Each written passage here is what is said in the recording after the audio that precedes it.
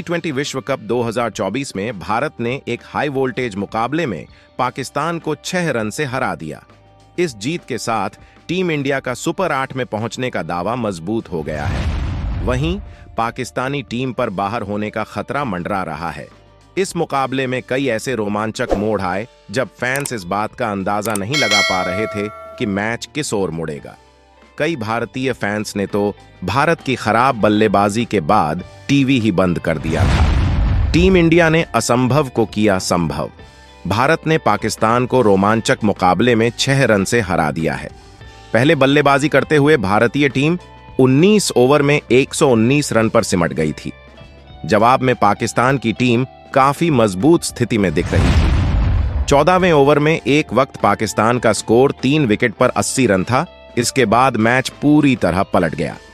रिजवान शादाब हुए, आउट तो पाकिस्तान के ऊपर गिरी गाद जब टीम इंडिया का चला चाबुक तो पाकिस्तान की हार पर नहीं लगा काबू। उन्नीसवें ओवर में जसप्रीत बुमराह गेंदबाजी के लिए आए और उन्होंने इस ओवर में सिर्फ़ तीन रन दिए और इफ्तिखार का विकेट लिया। बीसवें ओवर में पाकिस्तान को जीत के लिए 18 रन चाहिए थे। फिर अर्शदीप ने सिर्फ़ 11 रन खर्च किए और इमाद वसीम को आउट कर पवेलियन का रास्ता दिखा दिया। इस तरह टीम इंडिया ने असंभव को संभव में बदल दिया।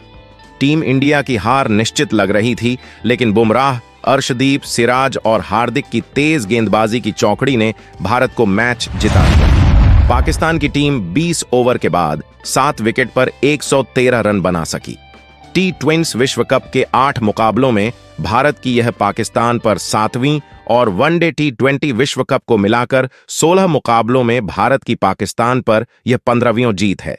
पाकिस्तान की यह टी ट्वेंटी विश्व कप 2024 में लगातार दूसरी हार है। कैसा रहा भारतीय टीम की बैटिंग परफॉर्मेंस? रोहित शर्मा तेरह रन, विराट कोहली चार रन, अक्षर पटेल बीस रन सूर्य कुमार यादव सात रन, शिवम दुबे तीन रन, हार्दिक पांड्या सात रन बनाकर आउट हुए। रविंद्र जडेजा और जसप्रीत बुमराह खाता भी नहीं खोल सके। वहीं अर्शदीप सिंह नौ रन बनाकर रन आउट हुए। सिराज सात रन बनाकर नाबाद रहे। भारत की ओर से ऋषभ पंत ने सबसे ज़्यादा बालीस रन बनाए। उन्होंने 31 गेंद की अपनी पारी में छह चौके लगाए। पाकिस्तान की ओर से नसीम शाह और हारिस रऊफ ने तीन तीन विकेट लिए। वहीं मोहम्मद आमिर ने दो विकेट लिए। शाहीन अफरीदी को एक विकेट मिला। आशा करता हूँ हमारे क्रिकेट फैंस को ये वीडियो ज़रूर पसंद आया होगा। अगर वीडियो पसंद आया हो तो वीडियो को लाइक, कमेंट और अपने दोस्तों के साथ ज़रूर शेयर कीजिएगा। अगर आप हमारे इस YouTube चैनल पर नए हैं तो चैनल को सब्सक्राइब कर लीजिएगा, साथ ही बेल आइकॉन को प्रेस कर दीजिएगा, जिससे आने वाली प्रत्येक लेटेस्ट अपडेट आपको सबसे पहले मिल सके। Thanks for watching this video.